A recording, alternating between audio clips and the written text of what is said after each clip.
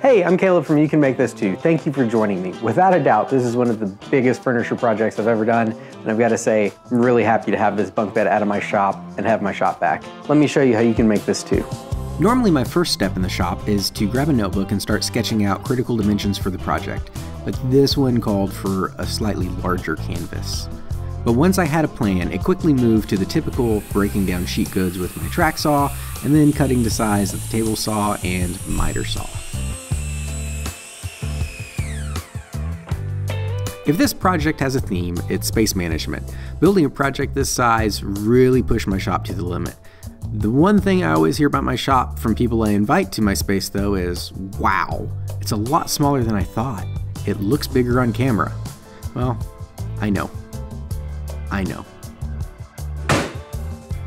My joinery of choice for this project is pocket screws, so I bust out my little Kreg jig with grip trainer and spend the rest of the week drilling pocket holes but I think you get the idea, so let me go ahead and jump to assembly.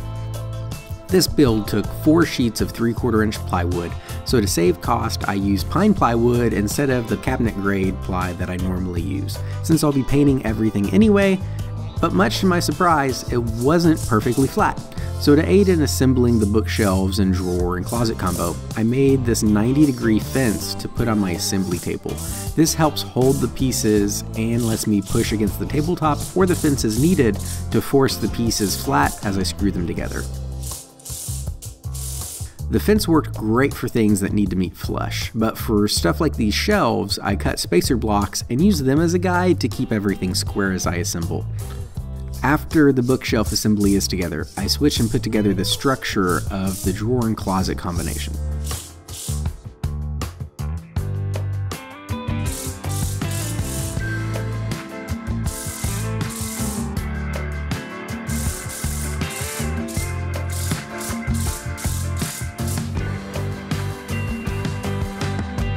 The drawers are all just going to run on wood runners. I make these and the dividers from more 3 quarter inch plywood and again use spacers to keep everything equally spaced. The front dividers get pocket screwed into place and the runners I just use wood glue and staple into place.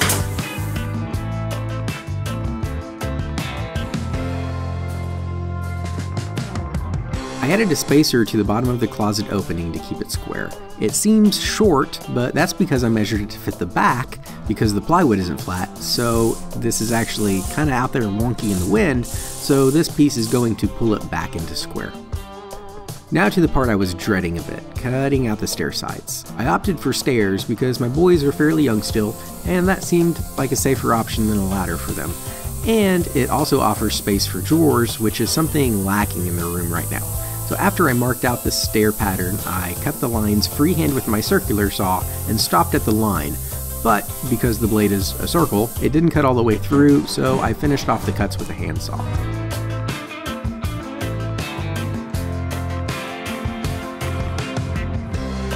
Again, I'm using pocket holes to hold the stairs together, so the next step is getting the holes drilled in the sides and all the bracing pieces. Once we started assembly, the fence for my assembly table came in handy again screwing the shelves on. My oldest was off for Christmas break while I was working on this, and he was really happy to get to help build his bunk bed. But pretty soon you'll notice some things getting painted. That's because this was still kind of early in the process and we ran out of things he could really help with. So we started covering everything with the paint that DecoArt was kind enough to provide for this build. As we finish screwing on the shelves, you'll notice the whole thing is a bit wobbly. That's where adding some bracing on the back and bottom comes in. That'll make everything a lot more rigid. You'll have to forgive me for the subpar shots here though, I know we blocked the camera a bit, but I was really more focused on sharing the process with my son at this point than getting the best documentation of it.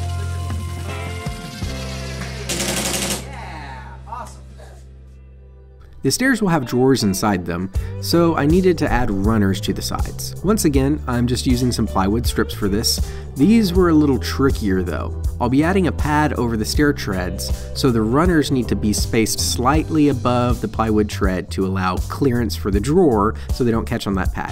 So I just use a piece of 8th inch hardboard to keep everything consistent as I brad nailed the runners into place. All of the drawers for this build are made the same, just sized a bit differently as needed. First I ripped all the drawer sides, Then I cut a dado in the bottom of each drawer that'll receive the bottom. I just show one pass, but it took two passes to make this wide enough for the hardboard bottoms. Then I cut a rabbet on each end of the drawer front and back pieces. The sides will rest in these, which makes assembly a lot easier because I don't have to worry about holding things perfectly in place.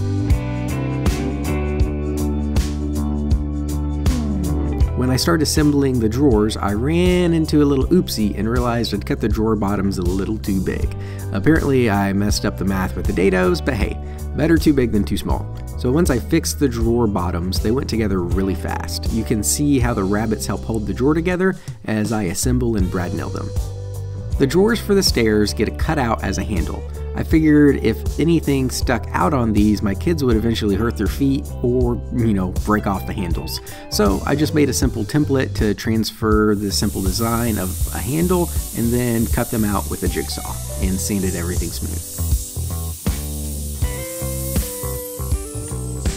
For the other drawers, I used regular pulls. I used a scrap piece of hardboard to make a template to drill some pilot holes from the inside of the drawer box then followed that pilot hole with the right size bit from the front. This makes sure that any blowout will be on the inside of the drawer, and then I just screwed on the pulls. Now for adding the cushion to the stair tread. I ordered some 2mm EVA foam to do this. My goal was something that was soft enough for bare feet to be comfortable on, but had enough grip that, you know, socks wouldn't slide. And this stuff fit the bill perfectly, and it's my first time working with it. To attach it, I used contact cement. I just spread a liberal amount on both sides and used an offcut of the foam to spread it around. After about 15 minutes, the surface is a little tacky, and that's when the two pieces go together and create a permanent bond. And as I usually do, I cut everything oversized and then trimmed the foam to fit after I had it in place. The railing and trim were easily the most time consuming part of this build. I wanted them to have a ladder look to go with the fire truck fire station theme, but also meet the safety requirements for a rail. I'm not going to get into it here, but I'll link below to the Consumer Product Safety Commission's rules for bunk beds if you're interested in looking at that. The rails and trim are made from 2x material that I ripped down into 1x material. I made the rail with a lot of pocket holes but in hindsight, I think nailing them together probably would have been a better choice. Not for strength, just so I wouldn't have had to fill all these pocket holes. The trim was a bit tricky. Obviously, the whole assembly is too big to move through doorways, so I had to figure out the best strategy for what to install in my shop and what to install in the room. Some of the trim is what the railing will be partly secured to, so I brad nailed it in place, but then followed up with screws for strength. There's really not much more to say about the trim, but it really pulls the piece together, so I'll shut up and let you watch me do it.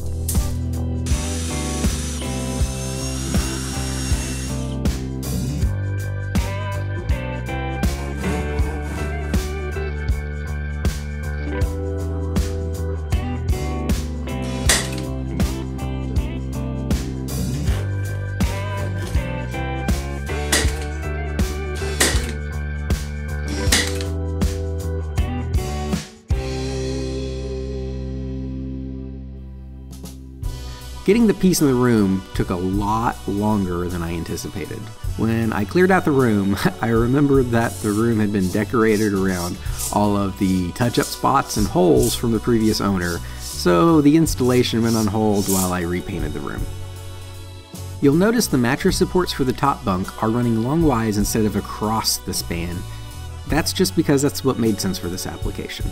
The mattress still has plenty of support. Normally, the supports run across the width because that's the shortest span to support a mattress, and that's the economic choice for material. But in this case, the span between the cabinets is about the same as the span of the width, so I don't need to use stronger material to go longwise. And running the supports across the width the normal way would have required me adding another rail to support them on, which would have raised the mattress even higher. Alright, so now jumping to the lower bunk. Here, I'm installing the rails onto the sides that'll hold the mattress supports. Nothing crazy, just brad nails followed by screws for strength. I'm going for a fire truck look with the bottom bunk, So I cut out some wheels to be feet and raise the sides off the floor a bit. This will make it easier to slide out when changing sheets and whatnot. All the wheels get some edge banding after they're cut so the paint will look better. After the paint dries, I attach the wheels to the sides with brad nails and screws. I clamp a scrap piece of 3 quarter inch plywood to the bottom of the side as I do this to make sure that each wheel provides the same amount of standoff from the floor. Now I start painting all of the pieces that will really give the bottom bunk the fire truck look. Off camera, I edge banded and painted all the edges black, and now the faces are getting the appropriate colors.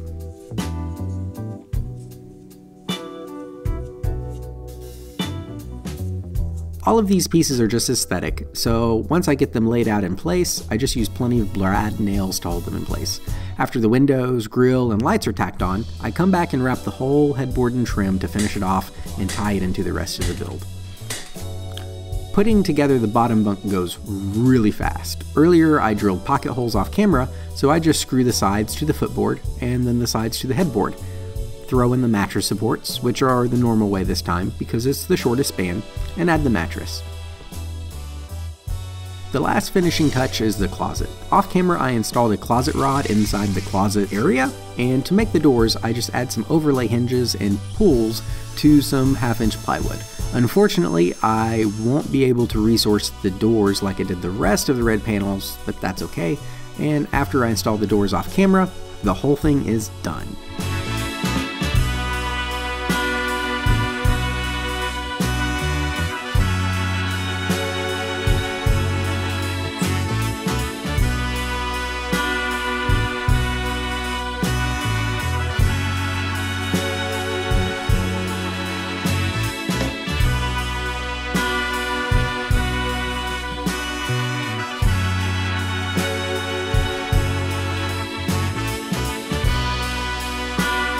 That's all, folks. Thanks for watching. I hope you enjoyed this and learned something. If you want to help support the channel, there's several links below that allow you to do that. I want to thank DecoArt for supplying me the paint. And until next time, make time to make something.